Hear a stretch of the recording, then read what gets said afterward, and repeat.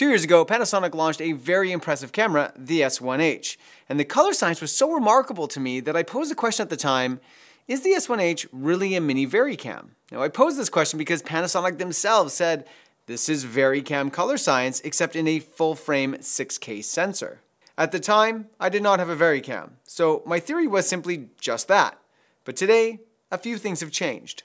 For one, I now have a VariCam, VariCam LT to be precise, as well as Panasonic has just launched this little guy. It's basically an S1H in a box camera form, which now brings it closer to that of a VariCam by offering a lot of the same I.O. capabilities as their Pro Cinema line. We'll also have the EVA 1 with us today, just to be inclusive. Simply put, the new BS1H takes the body of the BGH1 and crams an S1H inside. This camera gets us even closer to the look and functionality of a VariCam, but in a minuscule body. Which leads us to ask, can it stand in for their powerful $30,000 cinema camera? Well, you don't have to wait to the end of the video to find out, because I'm going to tell you right now. Not even close. But that is not the whole story, because in this video I'm going to tell you where this new camera fits in their product line, what it's really, really good at, and where in some instances you still might want to go with an S1H, EVA 1, or a VariCam. So Let's dive in. First things first, here's where the BS1H strays from the S1H. The box form means that you will need to buy either a separate EVF or monitor to use it as a video or cinema camera. Like the BGH1, you can operate it remotely via your cell phone if you like, but this isn't really a professional solution. For streaming and networking, you can fully operate the camera with a computer system as well. And perhaps this is the best use for the camera, and we'll get more into this in a bit.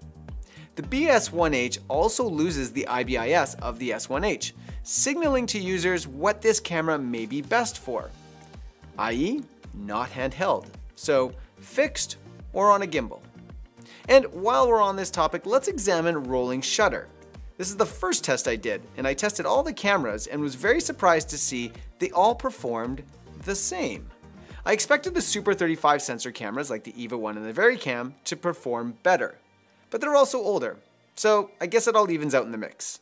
So what's up? Why did Panasonic make this camera? Well, simply put, it's because the BGH1, which came out last year, turned out to be quite a big success for the company and it found its way into a lot of multicam environments and reality TV shows. But the GH5 color always kind of handicapped that camera, so this was a very necessary upgrade, especially for professional production environments. And like the S1H, it's likely going to be Netflix approved. The real reason to buy this camera is simple multicam and streaming with some of the best color science and firmware flexibility in the industry. Its compact design also means you can place it just about anywhere. And just like the VariCam, we have Ethernet, SDI, and Genlock, all standard issue. The BS1H does trump the VariCam by offering both SDI and HDMI output, though this is also cheaply solved on the VariCam by using an SDI to HDMI converter. Compared to the EVA 1, which has SDI and HDMI, but lacks the Ethernet and the Genlock. Like the BGH1, Panasonic is betting that this camera is going to find its way to a lot of multicam environments, like TV shows, houses of worship, etc. And if you're looking at it saying, hmm, this looks a whole lot like a Zcam or a Red Komodo, you're not wrong, except the fact that it has better built-in I.O. than both of those cameras. So should you buy this camera and then rig it out for cinema? Well, that depends. It comes down to how you like to use your camera. In my opinion, if you're an indie filmmaker or content creator, the S1H is still the much better product, just in terms of usability right out of the box. The BS1H is easier to rig on a gimbal and is way lighter than the S1H, so you'll likely be less exhausted with longer shoots, but you're going to give up usability. In terms of functionality right out of the box, the S1H is really hard to beat for the creator set a beautiful EVF for shooting in all lighting conditions, IBIS, a great LCD screen with a master display touch carried over from the VariCam and the EVA 1.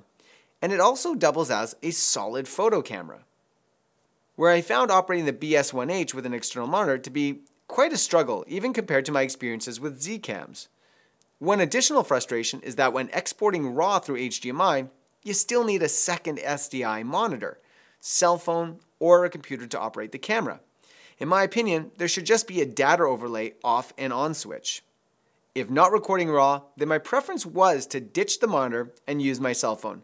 Now this is great for content creators, but I don't think it's a worthwhile solution for more demanding production settings. Okay, so now how does the BS1H or the S1H compare to the functionality of the EVA 1 or the VariCam? Well, the VariCam is obviously quite heavy and quite large. You're not going to just pop this baby into your backpack.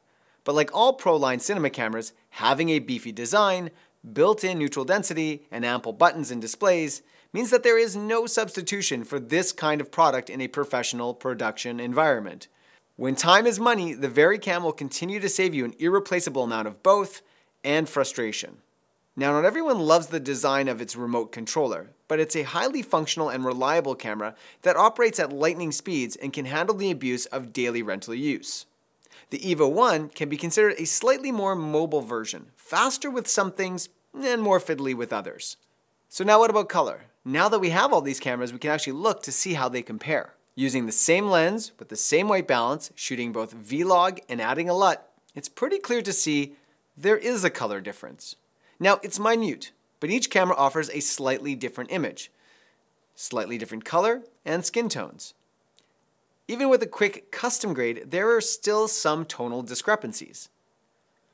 Taking it outside, you can see that my skin tone looks nearly identical, and the vectorscope confirms this. But my shirt is two very different colors of green. This might be an IR issue in the context that both cameras were using heavy ND. Now allow me to state, before I go any further, that the image out of the S1H and of the EVA 1 have been some of my absolute favorite when compared to the competition but I was delighted to see how much nicer the VariCam image looked. It wasn't drastic, but it made me understand some of the value and the cost of this camera beyond its functionality. Now, I didn't do enough tests to say conclusively that these cameras do not share the same color science, but they're different enough to say they're not the same. But that, to be honest, is of little consequence. Because what the BS1H is designed to do, it does better than just about anything else which brings the gorgeous image of the S1H and the networking abilities of the BGH1 together, offering multicam productions, especially those already in the Panasonic ecosystem, an incredibly powerful and reliable camera. If you are a doc or an indie film shooter, now it's really hard to beat the EVA 1 or the S1H since you'll likely never require Genlock or networking, and they're light enough to shoot with all day long. The VariCam LT really is a production camera, it's a one trick pony, but that trick is often worth the cost. The differences in the look of these cameras is not imperceivable. They are different, but different enough to matter? I don't think so. And that's because it really depends on what you're shooting and how you like to operate your camera. What I love about Panasonic that they do better than I think any other brand is that they take really, really good color and operation, and then they give you a camera that fits into every conceivable production environment. So they have a huge range of products that all kind of work together really, really well. Um, and that's it for today, guys. I want to do a couple shouts out. One is thank you to Panasonic for providing us with the VariCam LT, and as well to Carissa Dobson, who is a DP in uh, the US, who was very gracious with her time. I had a phone call conversation with her uh, where she talked about her experience using all these different Panasonic uh, cameras uh, in her career and some of her thoughts on using even this new BS1H. So Thank you, Carissa, as well for your time. And that's it for me. As always, guys, please subscribe to the channel for more videos like this and comment in the comment section below. I'm sure you got something to say. For me, for now, I'm out. Peace.